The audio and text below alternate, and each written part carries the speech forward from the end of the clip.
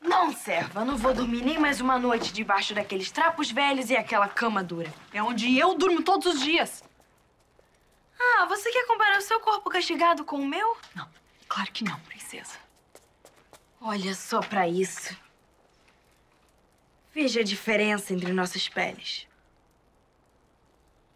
Mireu, venha cá. A serva ainda não entendeu qual é a diferença. Bem, princesa, seu braço é como um ramalhete de flores do campo. Belas, sedosas, perfumadas. E o meu braço é o quê, Mireu? Diga ela. O seu é como um graveto seco caído no meio da rua. Entendeu agora, serva? A sua pele dura e ressecada pode ser banhada em água suja. A minha macia e delicada, jamais.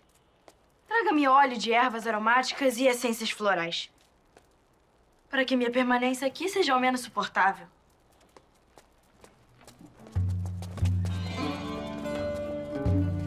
Então eu estou avisando. Eu não vou aguentar essa peste aqui dentro por muito mais tempo. Por favor, Helena. Ai, princesa ou não, eu vou arrancar os cabelos dela fio por fio. Aguente firme, irmãzinha, por mim. Enquanto Úrsula não aparecer no palácio, o rei deixa minha olho em paz. Estou cochichando o que aí? Nada, princesa. Eu estou orientando Lina a preparar um bom banquete para Vossa Majestade. Não é, Lina?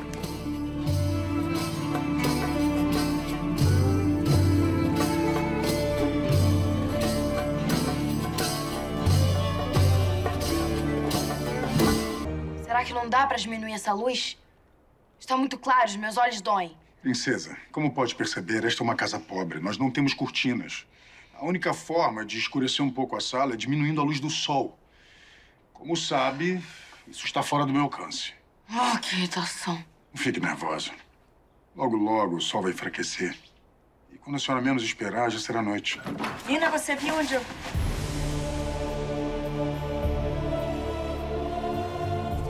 Mas o que essa taberneira está fazendo aqui?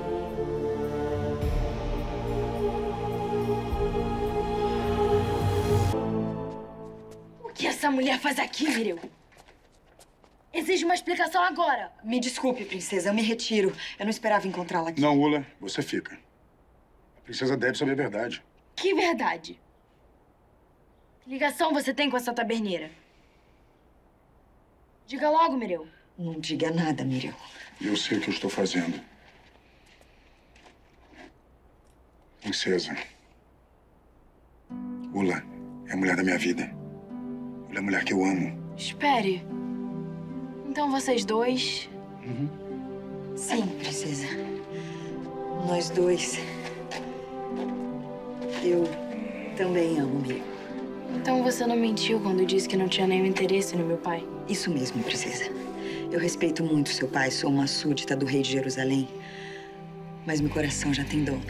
Se é assim, estamos do mesmo lado. Sim, estamos, princesa.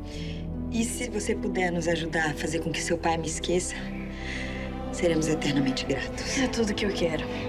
Vamos entrar na cabeça do meu pai e arrancar você de lá de dentro. Só resta saber como. Tudo que você diz a todos é verdade, Ula? Você foi mesmo rainha de Ai? É a mais pura verdade.